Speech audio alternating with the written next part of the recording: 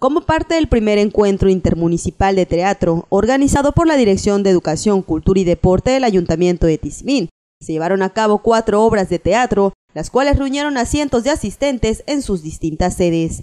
Los asistentes, entre los que se encontraba la regidora y el director de Educación de Cultura y Deportes, Shelino Osorio Ramírez y Ramón González Castillo, respectivamente, disfrutaron de estas muestras teatrales a cargo de grupos pertenecientes a los municipios de Espita, San Felipe y Tizimín. Las obras presentadas fueron Las ruinas del grupo Tizimín K de Tizimín, El Grinch del grupo Alas de Chulep de San Felipe, Un poco de frijol del grupo de telesecundaria de la comisaría de Nacuché de Espita y por último se vende una mula del grupo teatral Tumbenquín de Tizimín.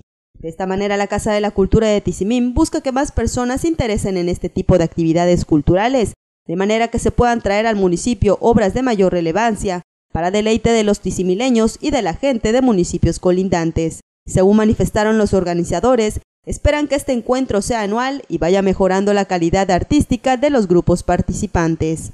Con imágenes e información de Alejandro Och, Notivisión.